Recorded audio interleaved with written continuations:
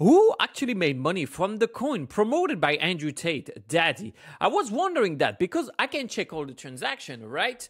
And we can see the top traders. I want to know who made a million dollars, 600k, 700k. I want to know how I can do the same myself because I checked on Twitter and I did not see many people publishing their wins and how much money they made. It's mostly Andrew Tate talking about there someone made money and fortunately the blockchain is an open ledger. So welcome on handsome finance. Where we study what's happening on chain because the blockchain is an open ledger so we can see all the transactions who made money who lost money follow the smart money and make even more money. That's why i checked all the top wallets how much they made and how they did it. So like this I am the one who will be making a million dollar on the next coin, or you will be if you're subscribed to Handsome Finance. By the way, it took me days to do this research, so I really hope you will enjoy and be sure to stay till the end to understand all the alpha you could get. The first thing we have to know before we start to dig in is that Andrew Tate is a liar. I call him lying on chain because I can check all the transaction and I did a video. This message that he said someone said that they're gonna send him 15 million dollar USD and the addresses that he put is actually one of his wallets. I tracked down his wallet back then, so I remember that. So if you want to watch this video and understand why Andrew Tate is a liar, you can just check that. But let's check first who made the launch. Before starting to get into anything, we have to understand how did the launch go and how did it happen. I launched myself more than 8 meme coins, so I know one thing or two about it. One thing is Bubble Map say that on the coin Daddy, there was 30% of the supply owned by the same person. We know that on launch, uh, Daddy had a massive insiders. But how did the launch happen? The launch was made on the platform Pump.fun, which is a platform that lets you launch a token for less than $4. The interesting part here is that in less than five minutes, the coin went live. It means when it reached 100% of the bonding curve, everyone can trade it on the open market with Raydium. When you reach Raydium, you can see it on DEX Screener. That's why you have the little logo Raydium here. We can know the developer, which was Tate Waite, coin created. He only created this coin. And I checked the transaction of creation of this coin, which is really unusual because it put 66 SOL right away in the first transaction. That means that the developer almost filled up the full bonding curve by himself. And where it starts to be pretty strange is that it was launched at 8:10 p.m. UTC time. We will stay on UTC time, so if you watch the time on your side, it will be in your time zone, so you have to convert it to UTC. And we know that as soon as it was launched on the Raydium, this person started to sell the daddy token at regular intervals, almost every minute, and different amounts. So I checked all those transactions and it made only $3,000. Now, the weird thing for me is that this is not a degen. This person used a different behavior twice. When he launched the token and how he sold the token. Usually degens will have automatic orders and limit orders because this is what you can do with those bots. For example, for myself, every time it goes up 100% automatically, I sell 35%, 250%. Okay, you get it. And then the problem is that this person did not move any of the funds. But honestly, it's nothing compared to how much money was made by the top traders because those insiders, they knew something you didn't. And you will see that they made multiple million dollars. It's a bit strange that this trader is just keeping his 50 SOL on his wallet and not doing anything. He haven't traded he haven't done anything since the daddy launch. What I know is that as we can combine all the transactions, we know who were the top traders on this coin. And I'm just going to take the top eight because I want people that made at least 500K. And you will see that what they're hiding from us is dirty. Let's start by the bottom of the addresses because I know it's Andrew Tate favorite position. I'm just going to take the last address and check in SolScan what are they up to? Here, as I see all the transaction happening at the same time, and in the same block or almost every time, I can know that this is a bot trying to maximize the transaction. They do sandwich attack. And those guys made 562K. For the top traders from 5 to 7, I can see that they're probably from the same group because they all start by DCAK. And you can make those addresses start by whatever you want. If you're a developer, you can do it. I can do it. So everyone can do it, I guess.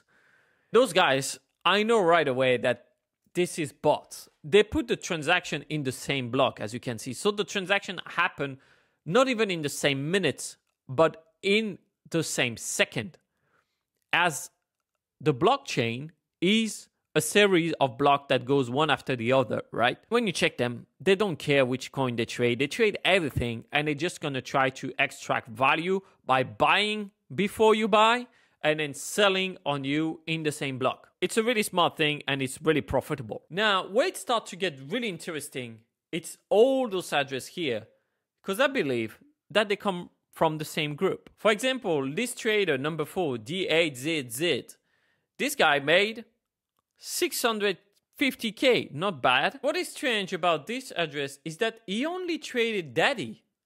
So maybe he has daddy issues. I can understand. Last time I met this girl and she said, You remind me my dad. So I slapped the shit out of her. I'm kidding.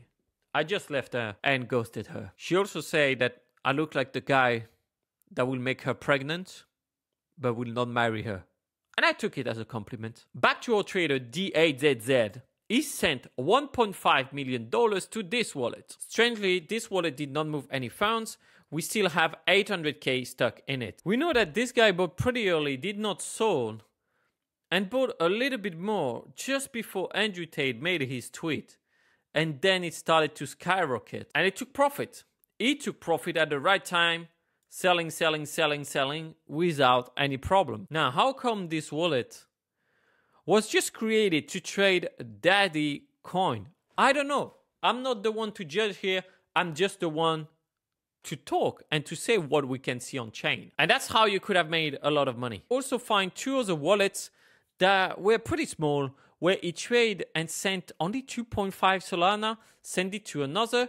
But the one that really brought all the money to buy Daddy was this wallet. And that one is one of the most interesting wallet that I found because it's someone that traded a lot of different coins and swapped them directly in the same wallet, right?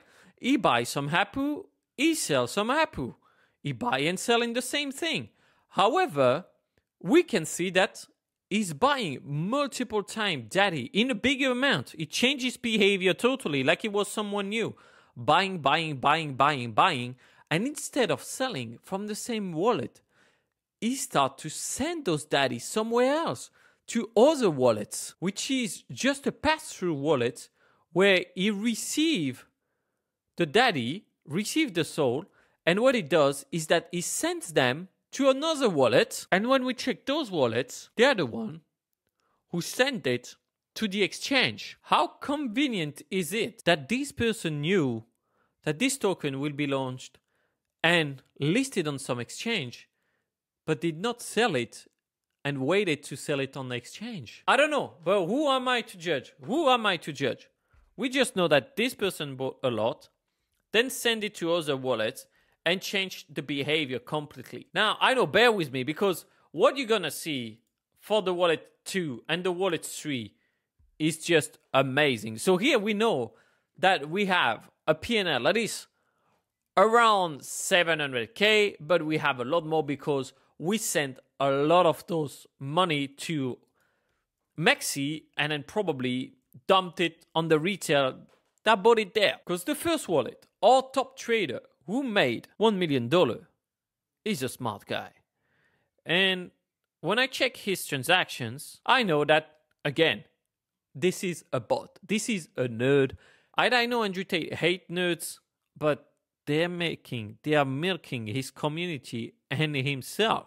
Every time he's buying a big clip of it, probably those guys front run him. Poor him though, if he was using a bot like basetrading.com, he would not get front run. Plus, this is free to use. You can open a trade on your laptop and then close it in Telegram. Magical. Now, let me finish with the best punchline if it was a comedy show. The best thing we could find is those two wallets that made 680k and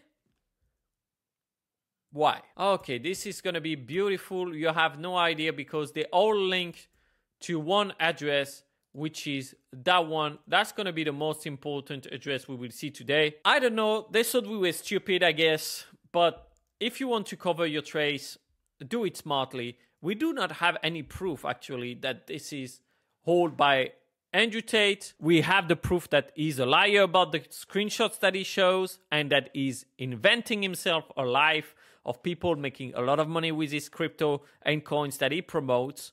We are sure about that. We validate that, that he was lying two or three times. Validated 100%. Now, for those ones, we have this address, okay, that sold a lot. So we have a wallet number two that made 700K that was funded from Solana plus Daddy from this address. And that address was funded by this address, which is a ChangeNOW address. So I can't prove or go into details about who sent the money to that address. However, what I can know is that all the addresses connected to that one. And this one made 230k from Daddy and sent a profit to this one, which is just a pass through address, and then send it to that one, which is a centralized exchange or bridge. I'm not 100% sure. We're going to check together. Then we got this address that also is the top trader too and made money on Genie. This one made 32k and that one who made 268k. Both of them have the same pattern where we send through a pass through address and then the funds go here. This one did not move the funds, I guess because the profits are too small for them to care. But we get our second best trader, which is 2xv, and he traded multiple coins in the last six days. This is quite different patterns, but not the same thing. He sent the profit to 2q, which is a pass-through address, and then send it back to this one. The thing is with this address, I'm not 100% sure yet what I can extract from it. I started to work with some people. If you want, you can help me. You come on Twitter. Even if you can't help me, just come and give a follow because sometimes I post some great insights, things that I learn, and you would get better at trading. But what is the moral of the story? What do you need to remember before you leave? Is that actually why we check those best traders? This is something that I always do in the investors boardroom, my private group, where I teach everything about on-chain analysis. Is we follow the smartest trader and we can know how they make it, how we can follow them. Now, the one from Andrew Tate, we probably can't follow them. I'm not sure yet. I have few addresses to check in the backlog, and maybe we will get an alpha with it. But what I can tell you, and normally this is not financial advice, but I guess I can give a financial advice this time. Stay away from celebrity coins because the celebrity is here to make money on you and the people who are launching with them they're here to make money on you. So you're left with a lot less power than they do and that's why you should just stay away. However if you want to be able to make those 10x 100x oh even i wish you the 1000x you should check out this video because this is where i explain you how you can get some pure alpha and protect yourself from just having the people making all the money on you. I mean those guys made 500k here, 1.2 million, 2 million, 2.5 million dollars off the back of normal traders.